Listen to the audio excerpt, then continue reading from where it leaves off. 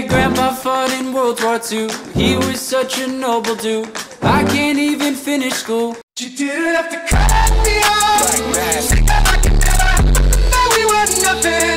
I don't even need your love. Mom left too soon. His dad was a fireman who fought fire so violent. I think You didn't have to cut me off. Like that. I could never. I bored my therapist while playing him my violin.